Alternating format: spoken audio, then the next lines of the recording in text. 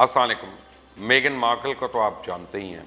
उसके गुस्से से लेकर बच चलने की कहानियाँ बड़े अरसे से अखबारों की जीनत बन रही थी।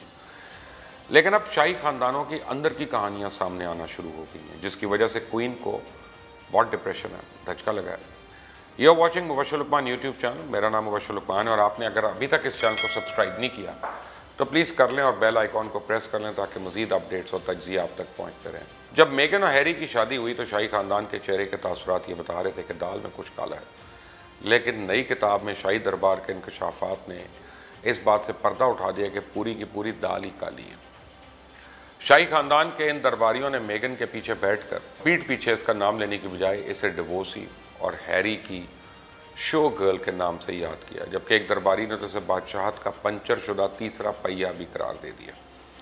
अब यह इल्ज़ाम लगाया जाता है कि जब पैसों और प्राइवेट लाइफ की वजह से मेगन ने शाही ज़िंदगी से किनारा कशी इख्तियार की तो दरबारियों ने मज़ाक किया कि मेगन अपना सीने शाही किरदार छोड़कर ब्यूटी प्रोडक्ट लाइन शुरू करेगी। मेगन का ख्याल है इस तरह की कामयाब खवतिन को डिमांडिंग और एग्रेसिव के तौर पर गलत लेबल लगाया गया और अपने बारे में कई कहानियों को जिन्स परस्त और मोतजबाना करार देती हैं।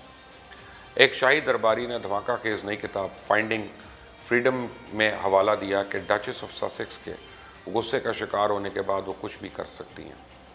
शाही ख़ानदान के अंदर के शख्स ने किताब के मुसनफ़ीन को बताया कि जिस तरह इसने मेगन के गुस्से का सामना किया, इसके बाद वो किसी भी किस्म की सूरत हाल को संभालने की सलाहियत रखते हैं। मेगन मार्कल की वजह से ही प्रिंस विलियम और प्रिंस हैरी के ताल्लुक ख़राब हुए, क्योंकि विलियम अपने छोटे भाई के सबक अदाकारा के साथ साथ तेज़ रफ्तारी से चलते हुए ताल्लुक के बारे में फ़िक्रमंद था। प्रिंस विलियम ने हमेशा एक बड़े भाई होने का हक अदा किया और हमेशा उसका अच्छा चाहा और ऐसा इसने मुस्तबिल के बादशाह के तौर पर नहीं बल्कि अपने बड़े भाई के तौर पर चाहा, जबकि हैरी बहुत कम खुश और मुतमिन होता है। ज़राई का कहना है कि विलियम ने पूरी बालिग ज़िंदगी में महसूस किया कि वह हैरी पर निगाह रखे हुए है। उसको इस बात को यकीनी बनाए कि वो परेशानी से बचे और सही रास्ते पर रहे। किताब में तो ये भी इंकशाफ किया गया कि विलियम शाही ख़ानदान में शादी से पहले मेगन के दुरुस्त इरादे को यकीनी बनाना चाहता था। क्योंकि इन दोनों भाइयों ने अपनी पूरी ज़िंदगी ऐसे लोगों के साथ गुजार दी जो ये चाहते थे कि किसी न किसी तरह इन भाइयों से फ़ायदा उठाया जाए। इसलिए इन दोनों भाइयों ने एक ऐसा रेडार नेटवर्क बनाया हुआ था जो इन लोगों का तयन कर सके। लेकिन चूँकि विलियम मेगन के बारे में पूरी तरह से तो नहीं जानता था, लिहाजा वो इस बात को यकीनी बनाना चाहता था कि हैरी हवस में अंधा ना हो जाए। ड्यूक ऑफ़ कैम्ब्रिज के इन खदशात के नतीजे में दोनों भाइयों ने बातचीत की, जिसके नतीजे में तनाज़ात मज़ीद ख़राब हो गए। और किताब में विलियम के हवाले से कहा गया कि इसने हैरी को कहा कि जल्दी करने की कोई ज़रूरत नहीं। जितना वक्त तुम्हें इस लड़की को जानने के लिए चाहिए, वो तुम्हें लेना चाहिए। क्योंकि हैरी एक ऐसी लड़की के साथ मुलाकात कर रहा था, जिसकी ज़िंदगी बिल्कुल मुख्तलिफ़ और इसका माजी और करियर बिल्कुल अनजान था। और इस मसले की पड़ताल करने के लिए वक्त, एहतियात और अटेंशन की ज़रूरत है। मुसनफ़ी ने इंकशाफ किया कि यह तबसरा और ख़ास तौर पर आखिरी दो अल्फाज ने हैरी को बहुत नाराज़ किया। और इन आखिरी दो अल्फाज में इस लड़की, हैरी ने इस शख्स से संजीदगी का लहजा सुना जो इसकी दुनिया तक पहुँचने की अलामत था।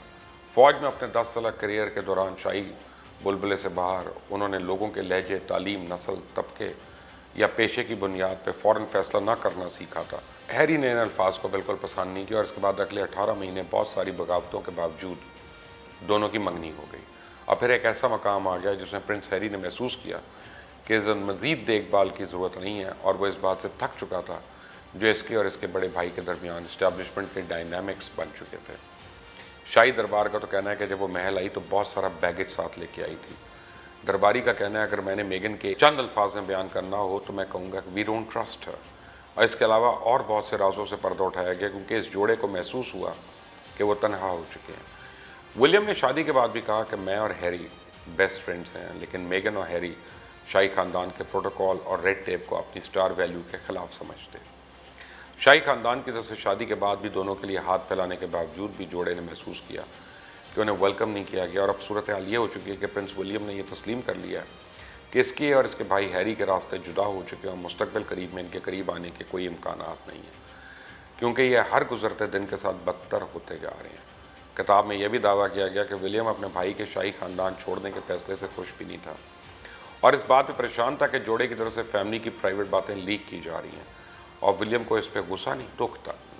विलियम ने अपने एक दोस्त को कहा कि मैंने सारी ज़िंदगी अपने भाई के गिरद हाथ फैला कर रखे और अब मैं ये मज़ीद नहीं कर सकता। हम दोनों एक अलग शख्सियत हैं, जबकि मेगन मार्कल ने अपनी दोस्त को बताया था कि उन्हें केट मिडल्टन के मुकाबले में तासुब का सामना करना पड़ा। शाही ख़ानदान में केट को ज़्यादा अहमियत थी। मीडिया ने मेगन को तनकीद का निशाना बनाया, लेकिन शाही ख़ानदान खामोश रहे। अगर केट मिडल्टन के साथ ऐसा होता तो मीडिया कवानीन ही बदल दिए जाते। जबकि शहजादा हैरी ने इस रवैये का मुवजना अपनी वालदा शहजादी डायना के साथ रवा रखे गए रवैये से करते हुए कहा कि तारीख अपने आप को दोबारा दोहरा रही है, जिस पर उन्हें इंतहाई दुख है। एक वक्त आता है जब आप ऐसे रवैये के ख़िलाफ़ खड़े होते हैं और आम अल्फाज में से हरासमेंट कहते हैं, जो लोगों की खामोशी से नाजायज़ फ़ायदा उठाने का काम है। और इस किस्म का रवैया हर सतह पर नाकबले कबूल है, हम इसे बर्दाश्त नहीं करेंगे। प्रिंस विलियम और प्रिंस हैरी के रास्तों की जुदाई कॉमनवेल्थ डे सर्विस के मौके पर वाज तौर पर नोट की जा सकती थी। जब दोनों भाई और इनकी बीवियाँ खटे थे हैरी और मेगन दोनों ने इस मौके पर जब विलियम और केट को स्माइल पास की तो इनकी तरफ़ से कोई रिस्पॉन्स नहीं आया। और वह आखिरी मौका था, जब जनवरी में दोनों भाइयों को इकट्ठा देखा गया, जब विलियम ने हैरी की तरफ़ देख कर सर हिलाया और मेगन को इग्नोर किया। और इस किताब में यह भी कहा गया कि ऐसा लगता है शहजादा हैरी हमेशा से बागी तबीयत रखते थे। शाही ख़ानदान में पर्सनल सोशल मीडिया अकाउंट रखने की इजाज़त नहीं।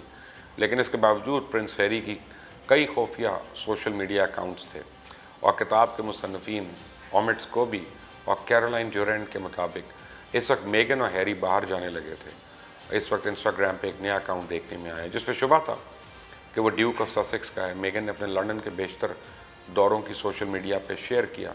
मेगन जानती थी कि वो अपनी मुलाकातों को खुफिया रखना है, लेकिन वहाँ सराग मौजूद था। मुसनफिन का कहना है कि मेगन ने एट स्पाइकी मो फाइव नामी पुरस्कार अकाउंट को फॉलो करना शुरू कर दिया। प्रोफ़ाइल फ़ोटो में कोई चेहरा नज़र नहीं आता था, सिर्फ़ चूहे के साइज़ का हेलमेट लगा हुआ था। इसका मतलब ज़्यादातर लोगों के लिए कुछ नहीं होता, लेकिन हकीकत में ये हैरी का निजी अकाउंट था। इसके अलावा फेसबुक और दीगर सोशल मीडिया ऐप्स और रिप्रिंट्स हैरी के अकाउंट्स थे। मेगन भी एहतियात बरतते हुए अपने पब्लिक सोशल मीडिया अकाउंट से ऐसे पुरस्कार मैसेज करती थी, जिसका आम आवाम के लिए तो कोई मतलब नहीं होता था, लेकिन हैरी तक पैगाम पहुँच जाता था। मेगन ने चंद साल पहले वो सब कुछ हासिल कर लिया था जो ज़िंदगी में कर सकती थी। बरतानिया का शहजादा इसका हो चुका था, इसका लाइफ वो हो गया था। वो सारी ज़िंदगी कभी भी अपने रिसोर्स से हासिल नहीं कर सकती थी। जबकि दुनिया की सबसे ताकतवर खातून क्वीन एलिजबेथ की इसको कुर्बत हासिल हो चुकी थी, लेकिन इसने सब कुछ एक झटके के तौर पर छोड़ दिया। कई लोग इसे मेगन का शोहरत और पैसे के लिए लालच करार देते हैं, क्योंकि मेगन के फ़ैन मुसलसल रॉयल फैमिली को तनकीद का निशाना बना रहे हैं और मेगन को इंटरनेशनल फेमिनिस्ट सुपरस्टार करार दे रहे हैं। और ये साबित करने की कोशिश करें कि रॉयल फैमिली से बेहतर है। लेकिन ये हकीकत है कि मेगन इंटरनेशनल सुपरस्टार की स्टेटस से बहुत दूर थी। यह शाही ख़ानदान ही है जिसने से ये शहरत दी। जबकि मलका एलिजबत की बात की जाए तो वो खातून है जिन्होंने दूसरी जंग अजीम में शाही ख़ानदान का वारिस होते हुए भी बहसीत ड्राइवर और मकैनिक वुमेंस कोर ज्वाइन की। और इस वक्त की तमाम मिलिट्री गाड़ियाँ वो फिक्स करने और ड्राइव करने की सलाहियत रखती थी। और ये उनका अपना आइडिया था, जब उन्होंने अपनी फैमिली से उसे ज्वाइन करने की दरख्वास्त की थी इसलिए मेगन और इसके फैंस मलका एलिजबत को अंडरमाइन करके एक संगीन गलती कर रहे हैं। जबकि प्रिंस हैरी का कहना है कि मैं मेगन की बुराइयों से वाकिफ़ हूँ, लेकिन मैं ये नज़रअंदाज नहीं कर सकता कि इसे शाही ख़ानदान में हकारत का निशाना बनाया गया। बहरहाल, ये अब बड़ी एक्सप्लोसिव किताब है। और इसमें और बहुत कुछ होगा। अगले चंद दिन बड़ी इंटरेस्टिंग है, जब इसमें से मज़ीद इकतबासात जो हैं सामने आते रहेंगे। यो वॉचिंग वशुल यूट्यूब चैनल मेरा नाम वशुल है। अंडर नेक्स्ट टाइम अल्लाह